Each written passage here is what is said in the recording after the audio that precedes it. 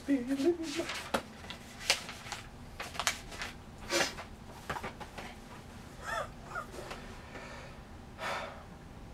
Welcome to Stripped Cover Lit. I'm Dalton Gentry, and I am here for yet another quickie review for the last week of October. We've hit them hard this week, so I'm hoping you're really enjoying them.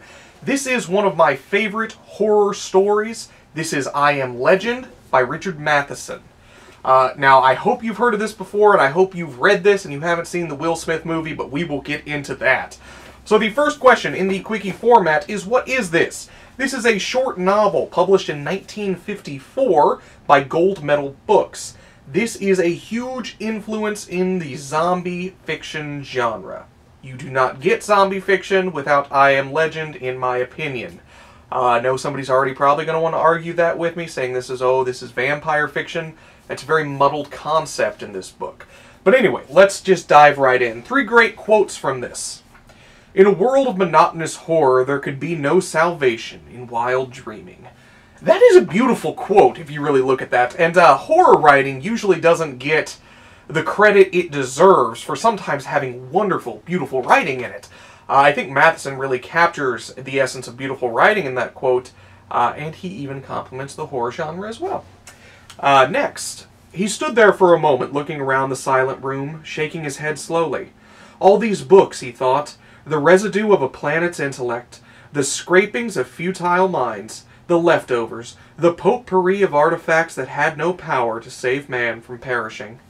Now, as a reader, if you do not pick that quote out of this, you're doing something wrong there. Uh, just a wonderful quote as well, uh, saying that all this knowledge, all these concepts, everything that we have spent our lives trying to anthologize, to study, to learn, in the end, if you don't read them, they aren't going to help you. Uh, finally, the keynote of minority prejudice in this, they are loathed because they are feared. Now, that is a powerful quote. Uh, from 1954 that is still just as powerful today. And again, as I've said many times before, in the horror genre, you usually don't get quotes with such power. Uh, so, Richard Matheson, good on you there. Uh, let's talk about selling this with a sentence. Uh, there was a reason that they made a failed movie from this. That's the best way I can sell it. A lot of people have seen the movie with Will Smith, which is awful. Absolutely awful. Uh, but there is a reason that they really pushed and tried from this. Uh, if I may, from the back, a couple of quotes from some people you might recognize.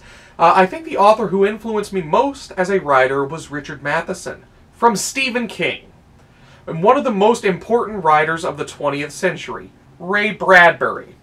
So, we praise Stephen King a lot on here. We don't talk about Ray very often, but we do praise Stephen King a lot. We're huge Stephen King fans. Uh, this is the man who influenced Stephen King. This is important, especially in that genre, if you want to take it that far. A uh, couple of good things here. This tackles some heavy subjects for being a horror novel. Now, in that quote where I said the keynote of minority prejudice is this, they are loathed because they are feared, you are obviously going to get a sense that we are going to be dealing with more than just your mindless zombie walking around and uh, the heroine's going to save the day, get out of there alive. We're going to deal with some heavy subjects here, which is wonderful of writing. Uh, this is looking through the big through the small. Looking at the big through the small. My apologies, Adrian. Next up, this is hugely influ influential in horror fiction. As I just said from Stephen King, he said this is one of the most influential authors in his life. Uh, I would make the argument that you do not get modern horror without Richard Matheson. Easy as that. And finally, this is worlds better than the Will Smith movie. Uh, if you've seen the Will Smith movie, please bear with me here because I'm so sorry you had to sit through that. Uh, that movie ruined it. Ruined it. Uh, they took the ending and completely went their own way with it and just left the beautiful written ending intended by the author out to starve. So, damn it, Will Smith. Damn it. Couple of bad things, though. Uh, there is some muddling in here between vampires and zombies, as I said.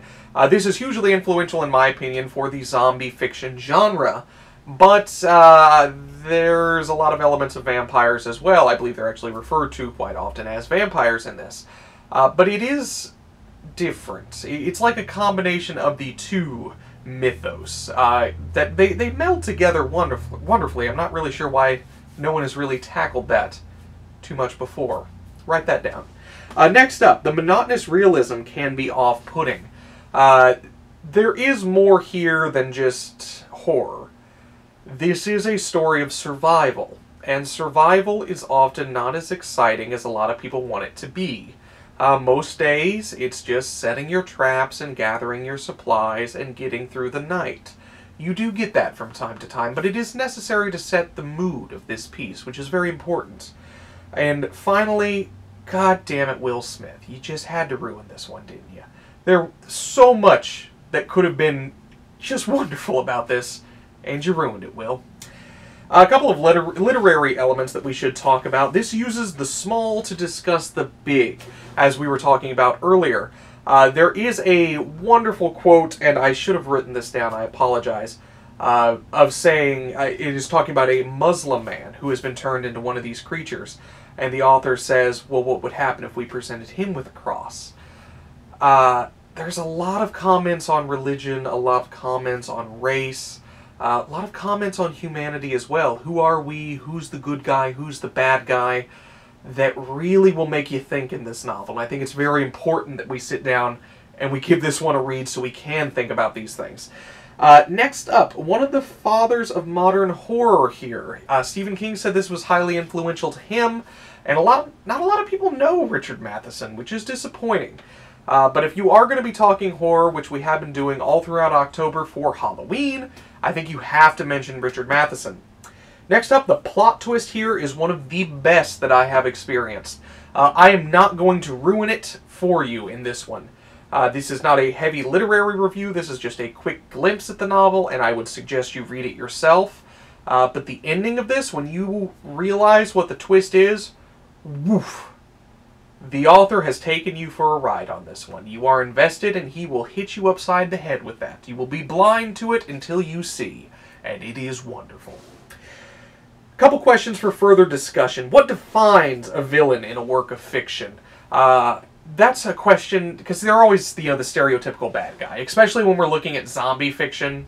We know who the bad guys are. They're the zombies. They're the ones walking around muttering to themselves, eating brains. Uh, but what defines a villain? Uh, next up, at what point does man reach his breaking point? Uh, like I said, this is a story of survival, and you can't speak about survival without speaking about how far man can go before he just can't go anymore. That's very important in this piece. Next up, why did Hollywood have to ruin this? I'm sorry for bringing it up so many times, but Will Smith, you ruined this movie. This could have been the greatest movie of your career, but you ruined it.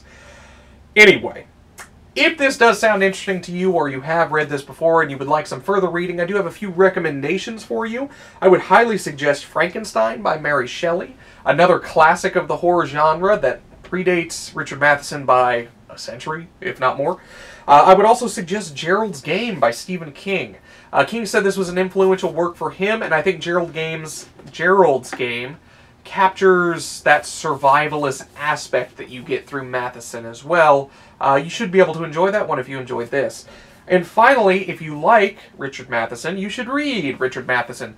This particular collection I have here also comes with the short novel Hell House. I would suggest it just as highly.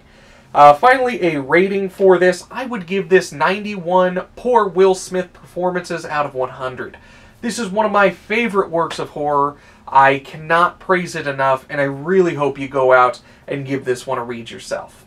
If you like this kind of thing, make sure you hit the subscribe button down below. We do this all the time, almost daily anymore. And hit that like button as well, because we always appreciate a like. You can follow us on social media. You can find me at The Dalton, or you can find the channel at Stripped Cover. You can also find us on Facebook at Stripped Cover Lit.